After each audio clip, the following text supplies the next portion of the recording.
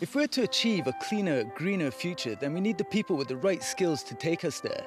That's why I'm here in Wales at the Centre for Alternative Technology, where they're creating the experts that the world needs in order to speed our transition to a low carbon economy.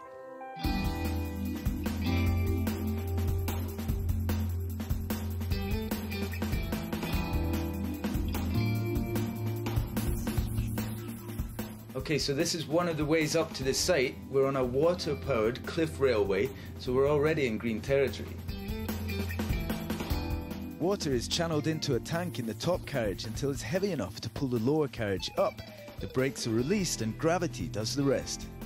CAT is all about uh, teaching people about sustainability, and it's about doing that in a way that lets them experience it in quite a hands-on way. So it's not just about having lectures or reading things. It's about coming here, experiencing the technologies like wind power and solar power, learning how they work, getting some hands-on experience actually with those bits of kit.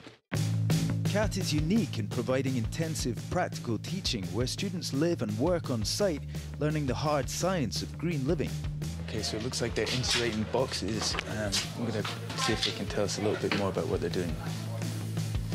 So essentially what we're building is 10 tiny little houses okay. and then we put a heat source in and then uh, what we're doing is to see how uh, effective thermal mass is uh, at regulating temperature.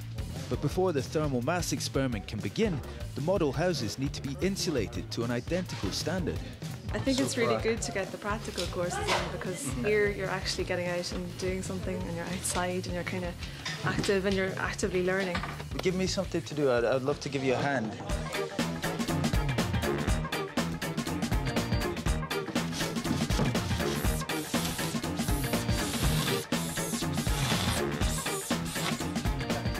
Okay, take it to the box.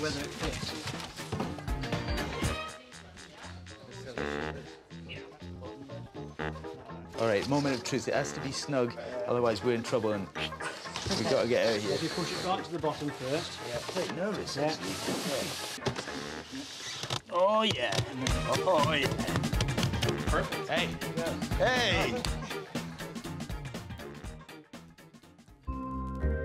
So this, this is where we grow um, a lot of the food that the staff eat and the students eat um, and that we serve in the restaurant. It has two functions, really, the field. The first one is it provides us with some of our food, with, with fresh food, but also it's, it's a place where people come and, and learn about organic growing and learn about uh, how to grow food in a more sustainable way.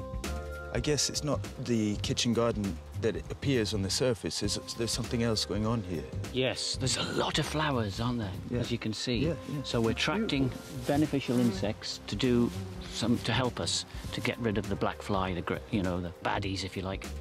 Companion plants can reduce the need for pesticides by attracting insects whose larvae eat the pests. They can also release pest repellents called allelochemicals from their roots or leaves. So the more beneficial insects in the garden, the healthier the garden. Wow.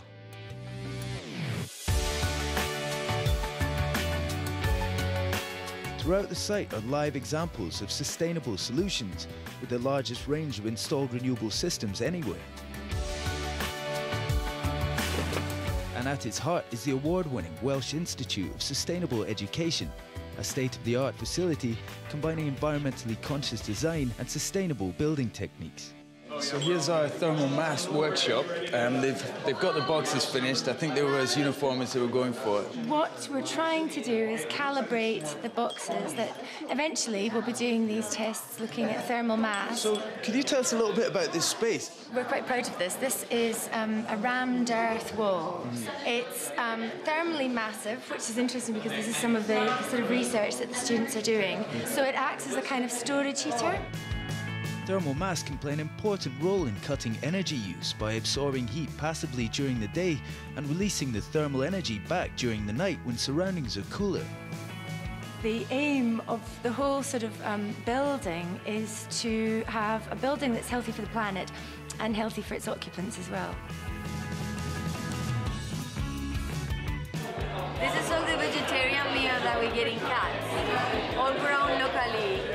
What for you makes this place feel special? there's no com- competitiveness. You know, you are actually trying to work together to try and achieve your potential, and everybody will actually help you to do that. And that's not just with lecturers, that's with students. So, uh, Alex, would you say this place is unique in Europe? I would, yeah. We're, we're the only place doing this, really. Well, fingers crossed we see more like them in the future. Thanks so much for, for showing us around. It's No been a, it's been a pleasure.